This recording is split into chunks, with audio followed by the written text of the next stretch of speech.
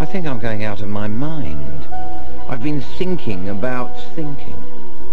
What is a thought? Where is a thought? Are thoughts just chemistry in our brains? Or is the mind something more than the physical? Where are you? In London. In Lady Margaret School. Fulham. I'm at school. In England. On the bench here. Talking to you. Where are you thinking?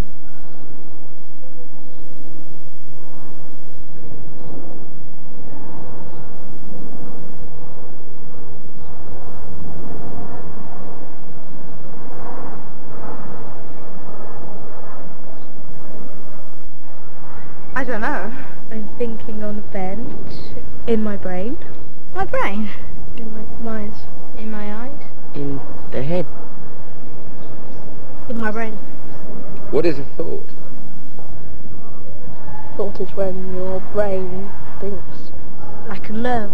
It's a moment in your brain.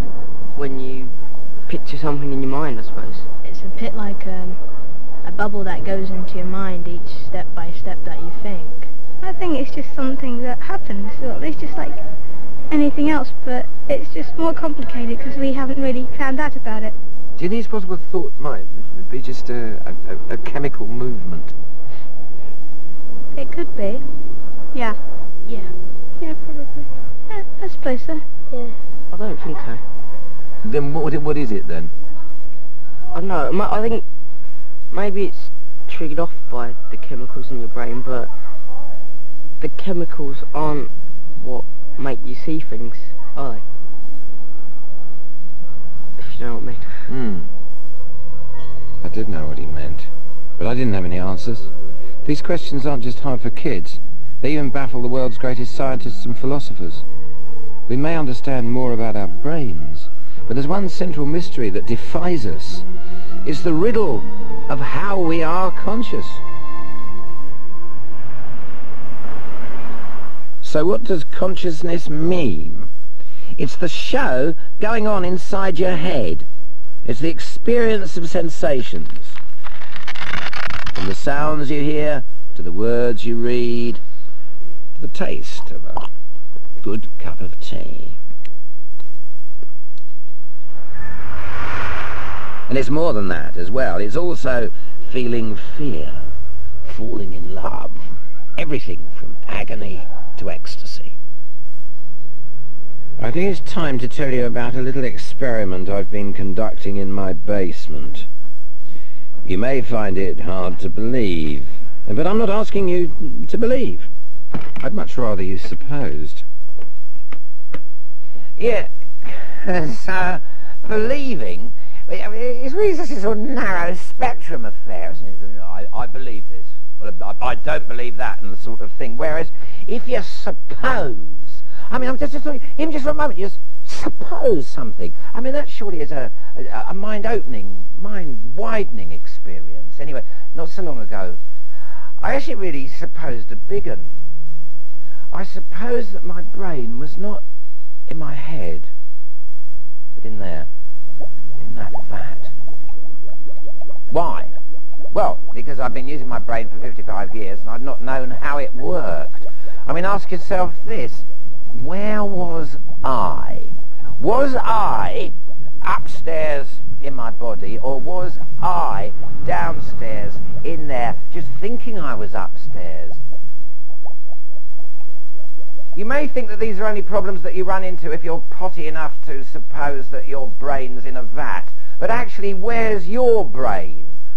Floating around in silence, in liquid, in a bone dome you call your skull. And does your brain have any uh, connection, direct connection with the outside world? No, it doesn't. The only connection it has is through long kind of wires called nerves. Anyway, I just thought in this age of the cordless phone, why not have a cordless brain? Over the next few weeks, I intend to meet enough brains to fill a bathtub. Together, we will endeavour to conquer consciousness.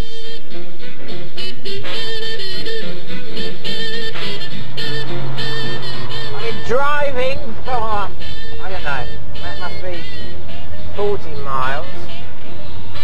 And actually, I can't remember any of it. It's amazing how the autopilot clicks in without you even being aware that you've handed over control. I mean, who's in charge here? How come my brain's not telling me what I'm up to? Brain? Yes, Ken, here I am. How can I be of service? Or don't just keep me on automatic pilot. From now on, I want to hear everything you're up to. Okay, I'll see what I can do. Plug to the liver, foot on the clutch. Heart a little faster, please. Activate triceps. Motor neurons, red alert. Swivel Let's go, peptides. Ready ankle and accelerate. Simulator valves open. Come on, kidneys. Synovial fluid stimulates semicircular canals. Adjust O2 intake. It's on Okay, okay, I get the message. Just tell me the important stuff.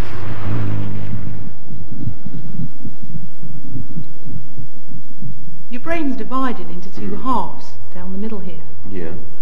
Each half is joined to the other by a sort of information superhighway in the middle, Yeah. which uh, communicates one side with the other. Is that a corpus callosum? That's the corpus callosum, yes, that's correct.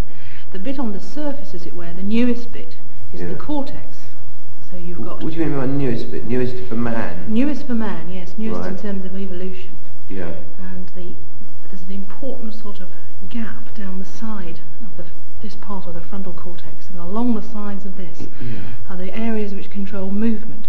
So this, the right side of your brain, would control the left side of your body's movement. Oh, right. Well, so if, if my the skull was off Yes? and you and you pushed a bit there, then that Yeah. my left leg would fly. Absolutely right, yes, and that can be done. Close to the movement area and integrated with it are the sensory areas. Yeah. And none of these things are completely clearly defined. You can move some bits and feel things, and you can. Uh, the whole thing is mixed up together. Move what bits? Bits of the brain? Bits of the brain, yes, and then you can get Oh, really? sensations down the other side of you. Or Yeah. you, I can touch a bit uh, that looks Uh, sensory. What do you mean by move it? What, you'd, you'd pick a bit of it up and Yeah, I could, if your skull was off, I could uh, touch it with a little Yeah. probe, a little bit of electricity, make it jump. Now, these experiments have actually been done. Leslie Bromley told me that back in the 60s, a Canadian gent called Wilder Penfield exposed the brains of epileptic patients and he prodded around inside while they were still conscious. Ready? And now?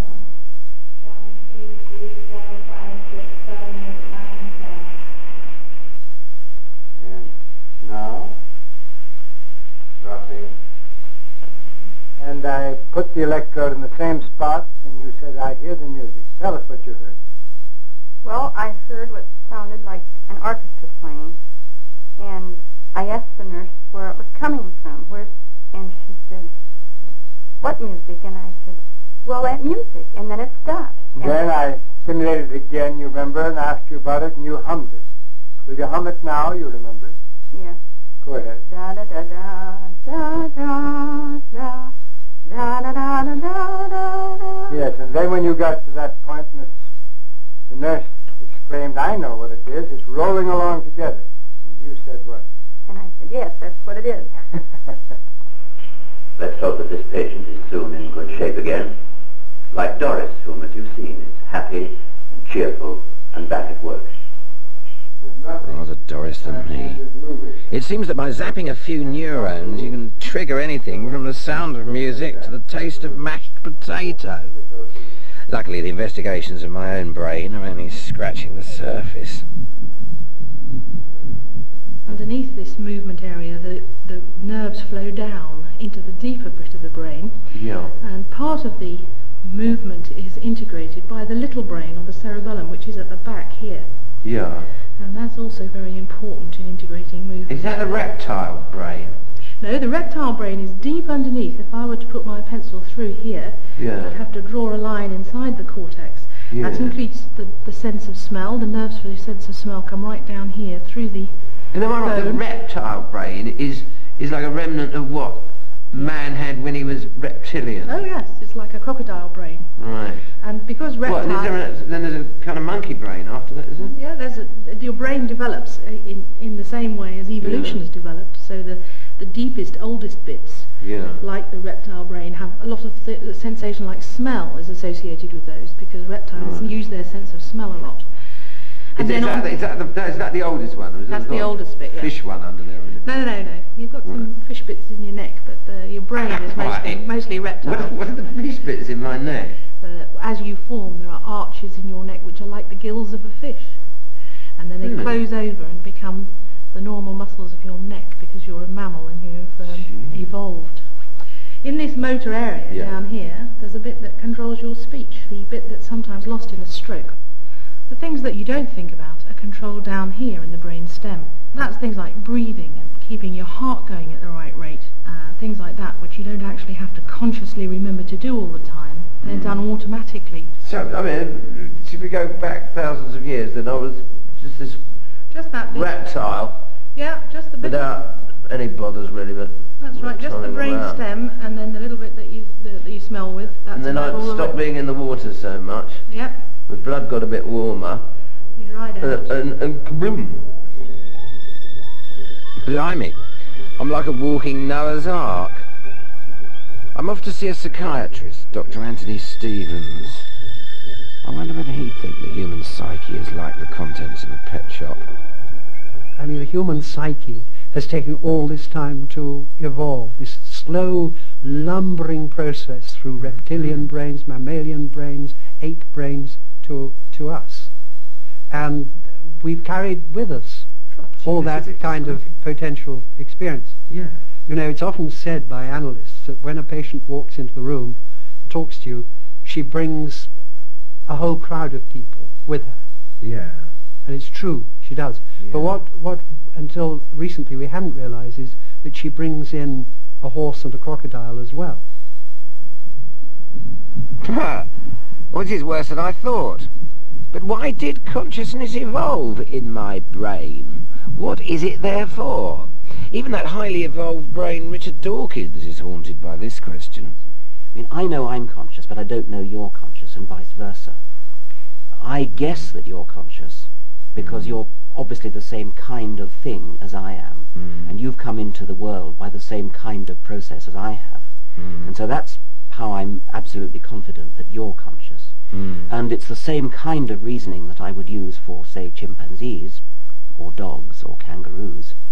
But equally, I know that there are other kinds of animals Mm. which I would bet almost certainly are not conscious. Like what? Um, well, um, I don't want to be snobbish and name them. I mean, I'd rather I'd rather say that the process of evolution took a very long time, Yeah. and I'm absolutely sure consciousness wasn't there at the start, and so consciousness probably Consciousness was not there at the start. I'd be very surprised It's, if it was. it's crept in. yes, By what?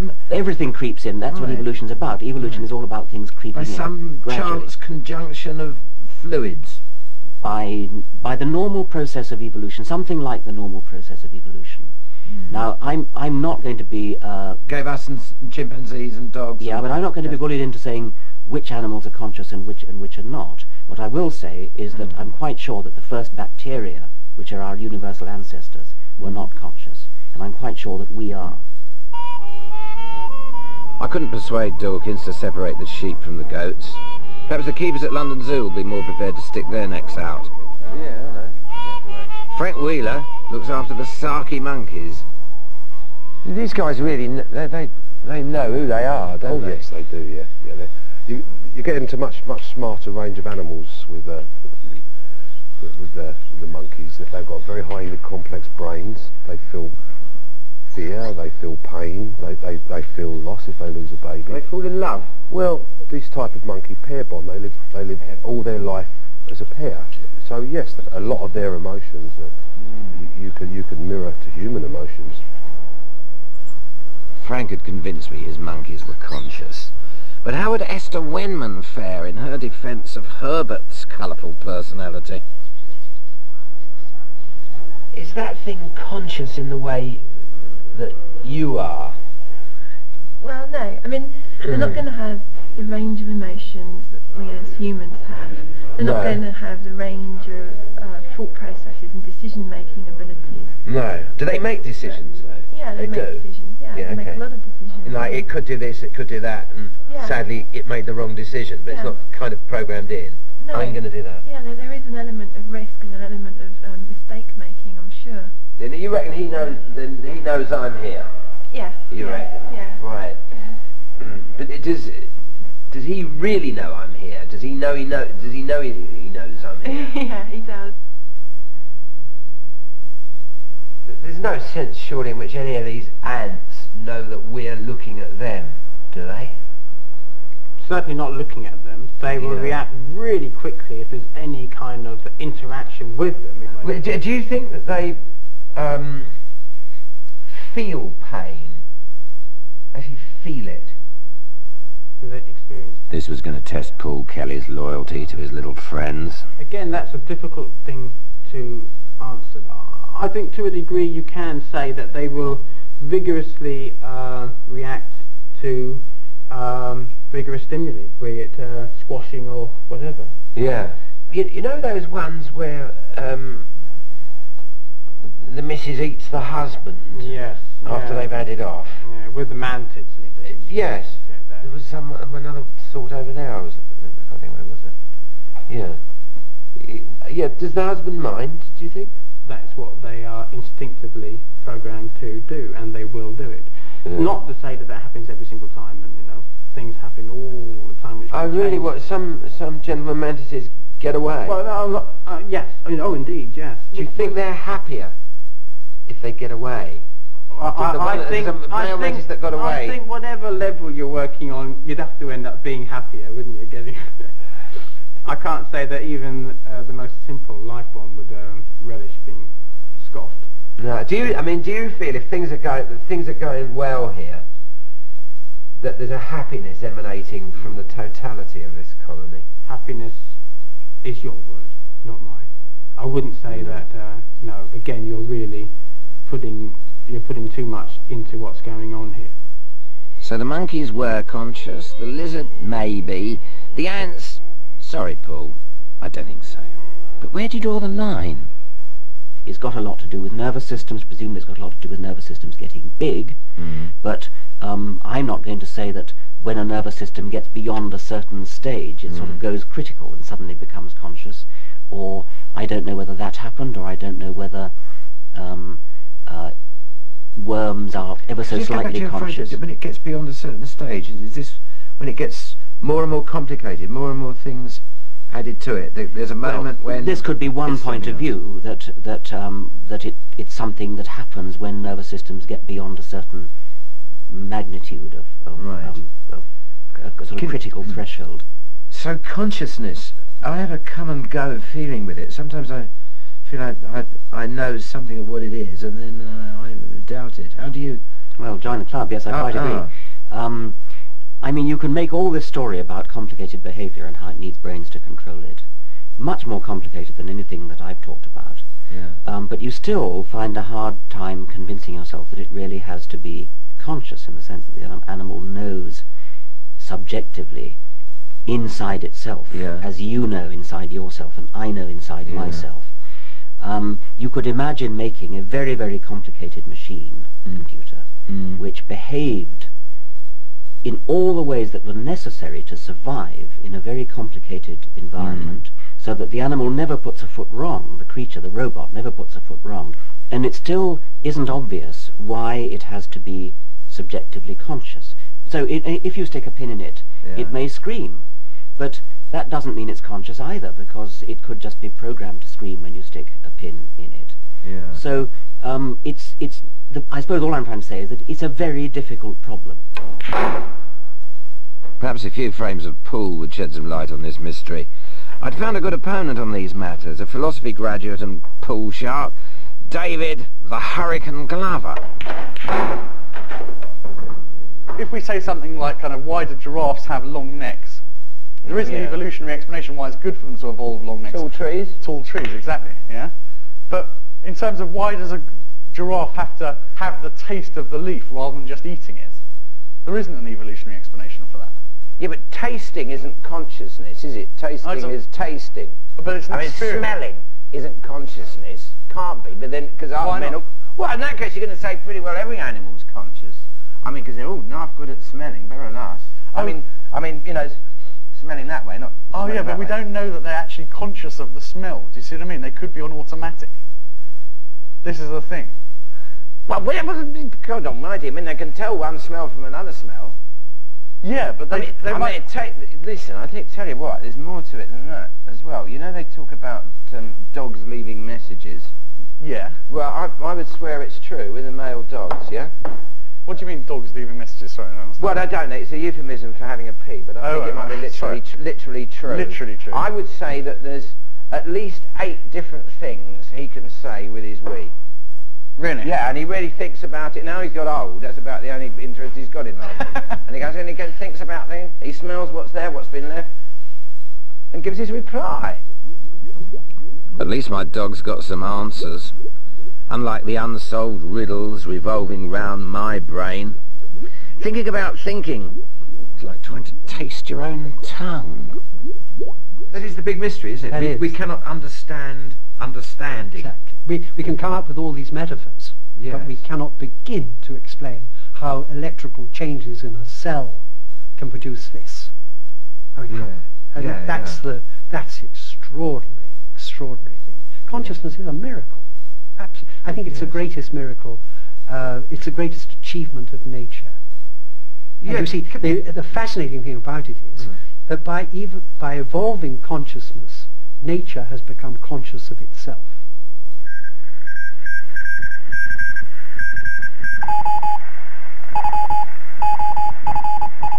Where am I in my brain? Well, it's a very sophisticated question, you see, because that's quite a recent idea that you are in your brain. Oh, is it? Yeah, where, where would, yeah. where, Oh, well, I mean, where would I? The I Greeks, the early Greeks thought that you lived in your diaphragm. Really? Did Yeah, yeah. The idea was your soul was your breath, and they knew that your diaphragm was what you used to bring in breath and let out they? Oh, I breath. you see. Yes.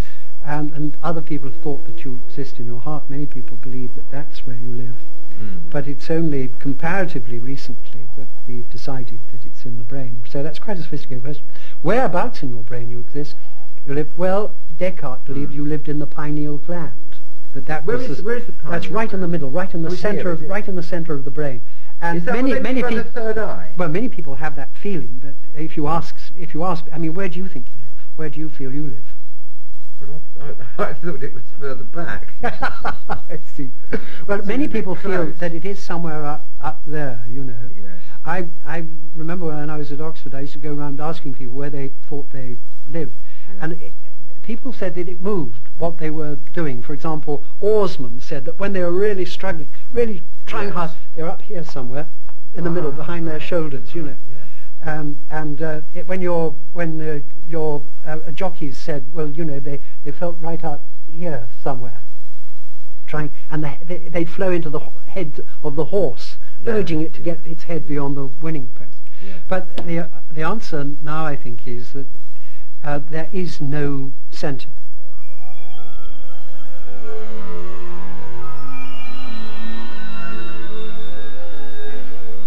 So there's no centre of consciousness, no master control switch, and yet it can be switched on and off by chemicals.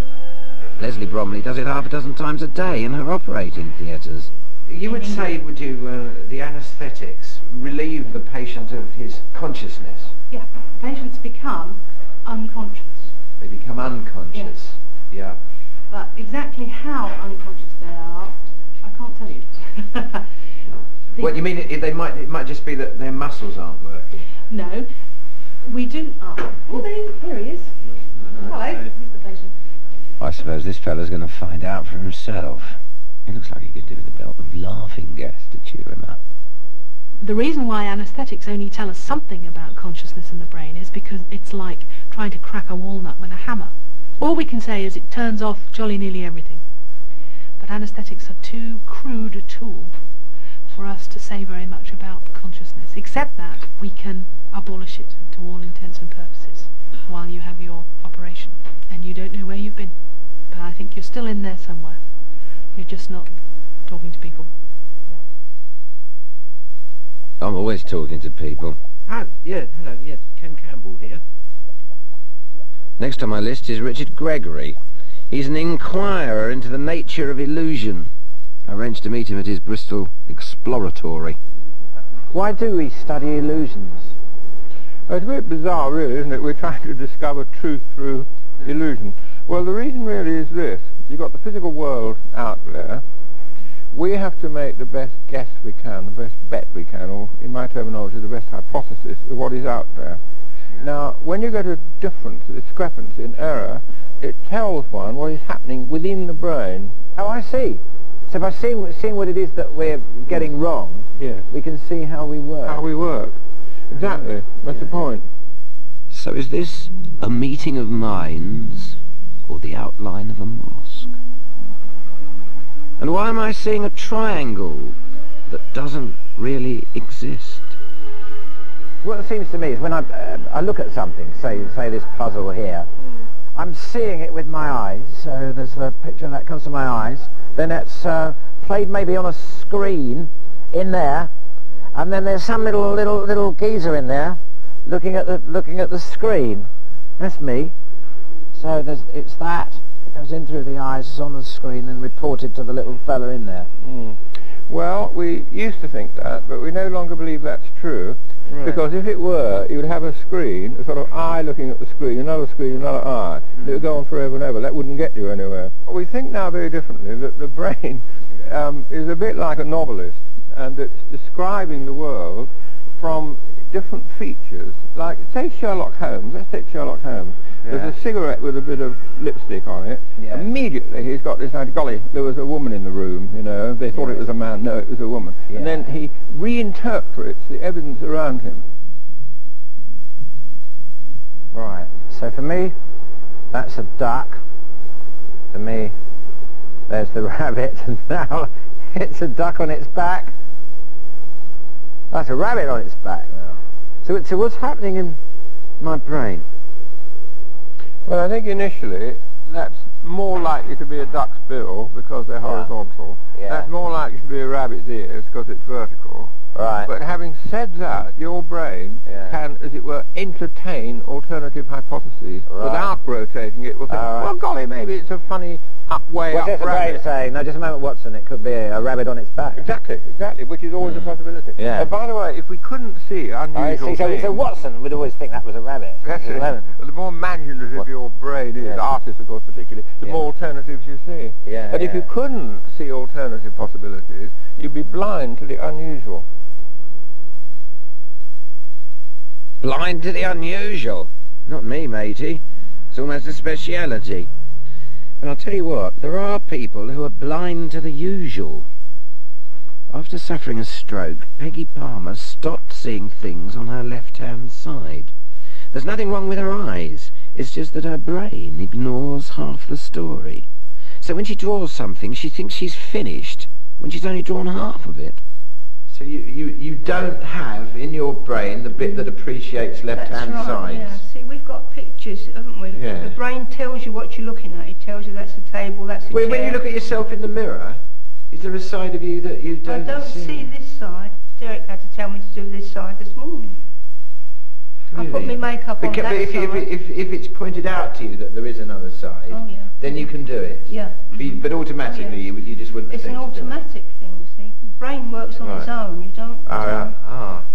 You've got to be aware of. You've got to be on your toes all the time. You've got to be aware of everything all the time. I see. So if you if you if you actually pay attention, Mm. then you could do anything. Then I can do it. if you- Yeah, yeah. Right. That's right. hmm And that's the hub of the matter in some respect. Attention Yeah, is the problem. attention, yeah. You can devote your attention. If I ask you to look to your left, you can look to your left. But Mm. automatically, you should be looking to your left when normal stimuli are there. Yeah. Okay. Yeah. What Peggy does is has to use that au- that non-automatic system to direct attention over to the left. That's For tiring. auto- for automatic that's, that's activity. Right. That's tiring. Yeah. Therefore, after a while, with reading especially, Yeah. you have great difficulties. You miss out lots of words, and in Mm. writing as well, Yeah. there's difficulties there I as don't well. see the. Um, What, so so you, when you read, words, I don't see. you don't see little words. But when you're reading, you, if you, I, you if read I the whole page. a word, I only see half the word. I don't see the, the left-hand side of the word, and I, my brain works out the word on its own. Like a word like heading, Yeah. You Um, just see ding. I see leading. Uh, My Oh, I brain says leading, you know. Right, And I'm reading all the wrong words all the time because I'm only reading half a word, you know. And it's very frustrating trying to read a book. It's very frustrating. You I'm get a completely different story out of it sometimes. don't? I mean, the thing about Peggy that's interesting is that the brain's kind of filling in. The brain, if the brain can't make sense of it, it has a guess. And that kind of shows what's going on the whole time in the brain. Is that there's this kind of... Well, yeah, okay. I mean, I, I don't think that's what I found. It seemed like it wasn't. Yeah, no, it, most, of, most of the time it isn't. But what's important about this is it shows that all of us in our brains have so much that's going on before the, we're actually told about it consciously. And some people think that this is kind of an explanation of consciousness because, you know... Which bit where is an explanation of consciousness? Well, the fact that there's kind of all this guesswork, it's like a game of charades underneath the conscious level. Yeah. Yeah, so kind of, you know, neurons are guessing, right? Yeah. And then they kind of come to a decision, maybe, you know, by whatever, whichever guess seems to be the best. And then you become conscious of it. Do you see what I mean? Yeah. Well, like a committee decision. So, okay, folk, we're calling it a table. Okay. We'll call this a ball, we'll call this a cube. Okay. Right, look, it must be a game of pool. I think it's your go. I think a little thought experiment might be in order. Let's suppose I could see the deliberations of my Holmes-like mind. You know when you hear a sound, say it's a rumbling, rolling kind of sound, your brain starts a guessing game, and you're not even aware it's playing. It comes up with a number of hypotheses for what could be making that sound. Skateboard, Holmes? I don't think so, Watson. Rollerblading, then, Holmes. Hmm, possibly. It's only when the brain's decided that the answer arrives in our consciousness. No, I fancy it's a shopping trolley, Watson, led by a portly gentleman. What's the matter, Watson? I've been demoted. I used to think I was in charge in my own brain. But now it seems that I'm just one of the many things that my brain does. And then, thing, uh, fruity, uh, Gregory, Richard Gregory tells me that half the time things are being done and decisions made in there and I'm only being told about it afterwards, you know? Like I'm some kind of Ronald Reagan presidency. But I don't, I don't see how or where these decisions are made. How come I need to be conscious anyway?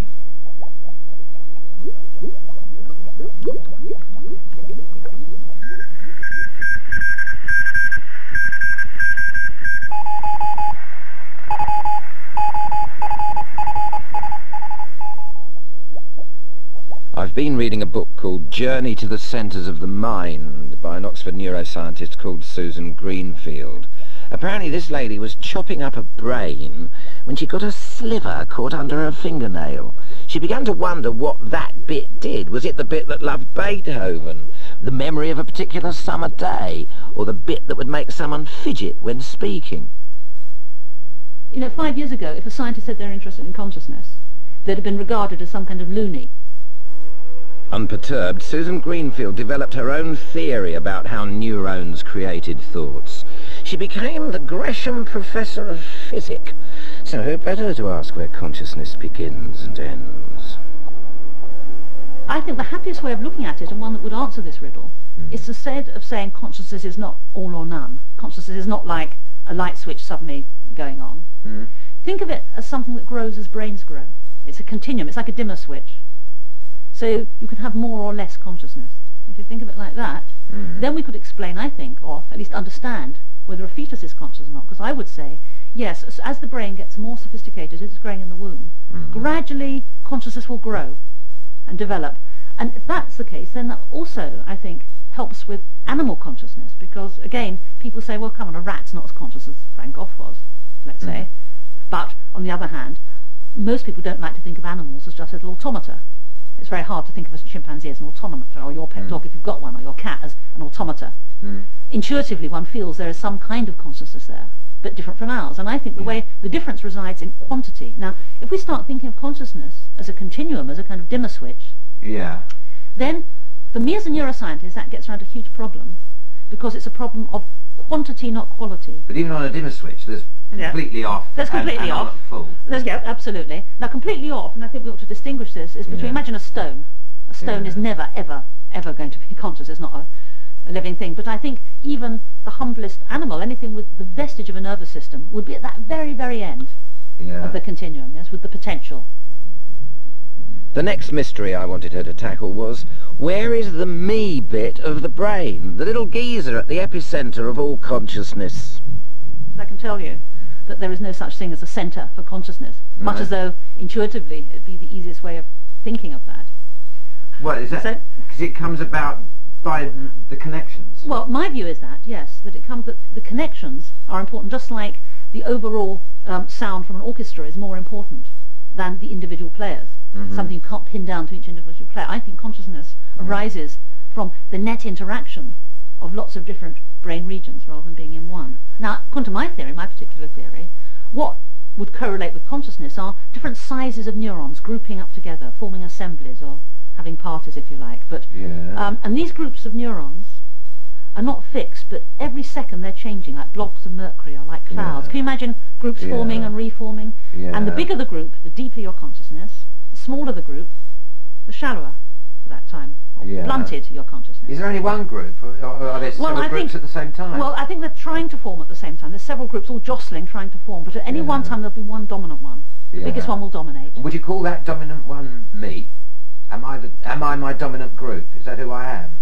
No, I think, well, that's your consciousness, yes. Right. Uh, but I think one can So I can't help but focus on the dominant group.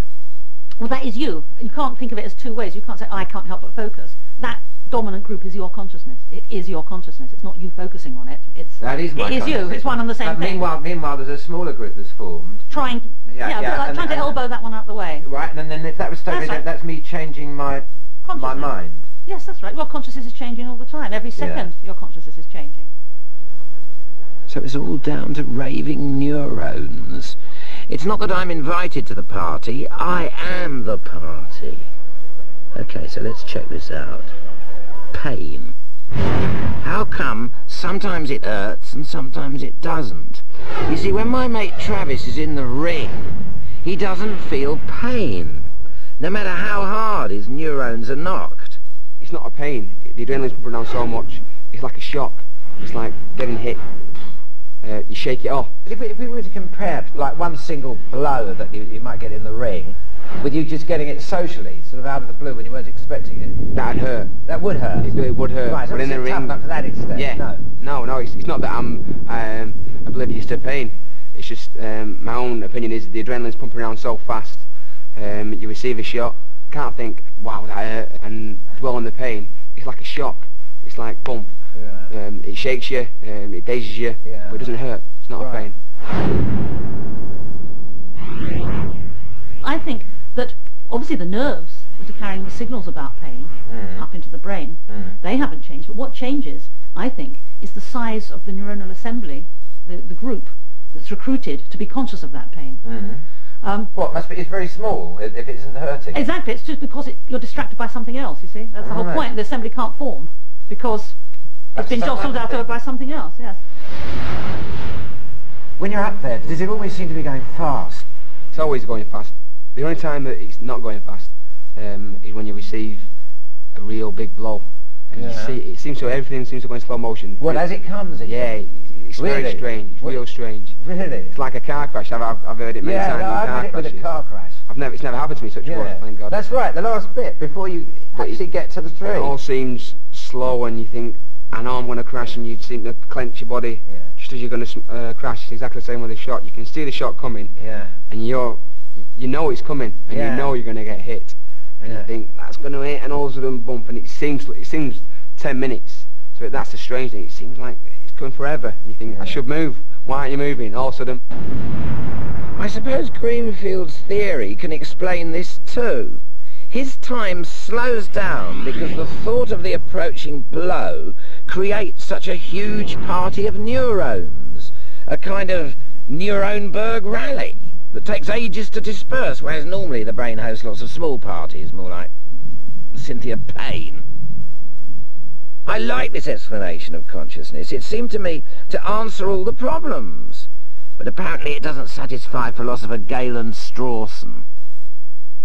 Is that a definition, maybe, of philosophers? Them that are never satisfied. At the end of time, they'll still have a nickel. Susan Greenfield seemed to think that we could explain consciousness by um, neurons and the way that, that neurons would uh, jump into different systems of connection with each other. Yeah, I don't think I hold any view that's incompatible with what she thinks, mm. because I agree with her that somehow or other consciousness is just a matter of whatever these waves of electrochemical activation sweeping across mm. groups of neurons. Mm. But I don't think that explains consciousness. I mean, suppose suppose you looked at a red a red wall, yes. and and we were scanning your brain at the same time, and afterwards we could say, here's the whole, maybe we could sort of rerun a picture of your brain in action. Mm. And we'd say that was your scanning the red wall. It was these neurons doing that. Yeah. So we, what, what, we can correlate sensory experiences like seeing a red wall with certain patterns of brain yeah. activation. We can get correlations, but correlations aren't explanations. Yeah. And Susan Greenfield, more than once in her book, says that we haven't a clue why it is that neurons doing this is you're having the experiences you have when you look at a red wall. Mm-hmm. She thinks she knows what it is, what consciousness is in terms of neurons, but she doesn't know how uh, consciousness arises. That would be. Yeah. There's a sense in which we haven't yet got an explanation at all, and it's not even clear where we would begin to look to find one. The difficult part of the problem of consciousness is not you know, the higher cognitive human stuff, self-consciousness and the ability to do mathematics and things. Mm. The really difficult part comes right at the beginning and it's sensory experience. So, you know, dogs famously have an incredible sense of smell and there's something it's like experientially for them to smell things. So the what it's likeness, the something, the it's like, the something it's like, yeah. Or the right. feely, the feely. Right, so maybe we use the word consciousness to mean the what it's like. I, yeah, that's, I think that's the, the most common use nowadays, yes. I'm still not sure I've got my head round this what it's likeness business. Perhaps my cordless brain can help me run another thought experiment. Let's suppose I could disconnect my brain and hook it up to one of those kids. What would it be like to be 14 again? Well, it's not exactly like I supposed it would be.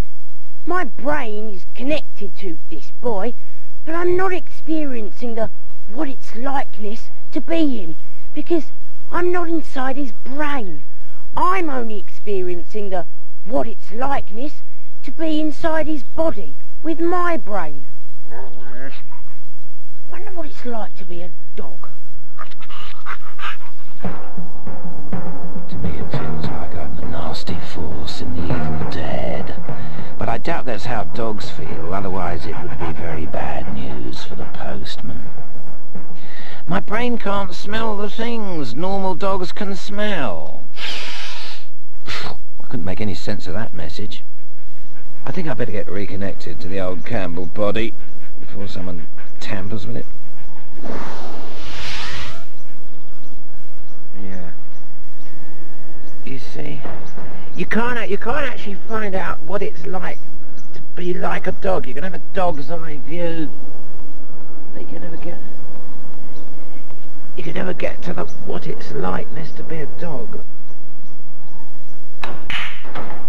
Yeah, I, well, you see, that's when, when you get back to the animals again, I think. It's, it's the, the what it's likeness, I mean, the what, the what it's likeness for you yeah. of being hurt, uh, of, of, of experiencing pain, is likely to be different from the what it's likeness of, of um, pain for a newt. Sure. But that's probably, I mean, but, if, but, it, if but we I mean, buy you know, the fact that the thing doesn't like it shows it's, right got- some kind of what it's likeness.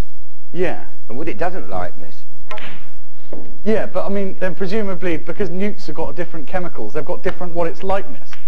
But just saying, if a scientist says, oh look, this chemical in the newt is newt experience, doesn't give us a clue what it's like for the newt. If they said, oh, it's thalamamine rather than dopamine or something Yeah. in the newt, Yeah. gives it a different experience. Would that give us any insight at all into what it's like to be a newt? It wouldn't. A physical explanation isn't enough because it doesn't bridge the link between the what it's likeness, the mental experience, and the chemical Maybe, reaction. maybe if we took a bit of thalamine it would. so traditional science can't bridge the gap between the physical and the what it's likeness. It just can't explain how matter can have mental properties. Perhaps you have to go back to the ancient Greeks for an explanation. There's another doctrine, actually, called panpsychism, where everything's conscious, like billiard ball there, that's conscious, this goo's conscious, the rest is conscious, the, the table has got its own table. Oh, God, consciousness. The doctrine of panpsychism reckons that ev- there's something it's like to be everything, even a stone, however Yeah. rudimentary it is. Yes. I think I've found out what I am. I'm panpsychic. Well, it's actually a se- it's a serious candidate for the, yeah, I mean, the every, problem. every atom and every quark. well, yeah, exactly. The, the problem of consciousness is so difficult. lot. Yeah. Yeah. problem of consciousness is so difficult that panpsychism is actually has to be one of the contenders. If it were true, it would it would seem to be able to provide an explanation of how consciousness can arise from the physical as we know it through mm. physics. Because if consciousness is in there right at the start, right at the ground level, Yeah. then perhaps we can see why a brain, which is which we think of as just a very complex physical thing, Yeah. as being able to have complex conscious states because consciousness was always there right from the start. Yeah. So panpsychism has got a, a kind of good, a lead on all the other theories in terms of making it making it possible for us to understand how consciousness could be just physical. Yeah. But unfortunately, we have no reason to believe it to be true apart from that. I don't know. I could see the appeal of panpsychism, but I wasn't about to become one of Pan's people. I couldn't believe that any old physical thing was conscious, although we all agreed my grey matter is. Even philosophers seem to accept that my mind is physical. So I am just physical That's what I think. And nothing more. Yeah, nothing more, but nothing less either. I mean, I mean, part of the point of this is that the physical, if consciousness is physical, then the physical is a lot more than you thought it was. So, what are you lacking? But what that means is that you're going to have to expand your, your idea of what the physical is enormously. Physics is more than just the matter of atoms bumping into each other. Uh-huh. Or, or rather, it may be just a matter of atoms bumping into each other, but atom, atoms bumping into each other um, produces or includes the phenomenon of consciousness. And everything that you hold dear. Right.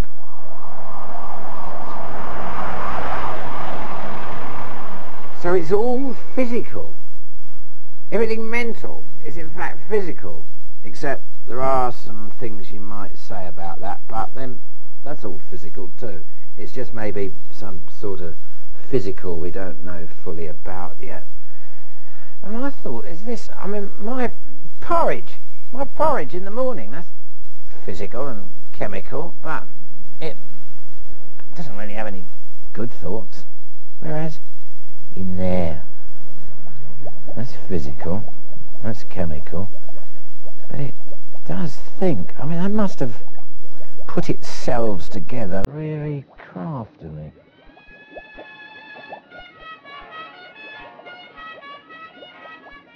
You know, there are people who think they can solve the mystery of consciousness by building a conscious robot. There's even someone who believes he is a robot. See me in America next week.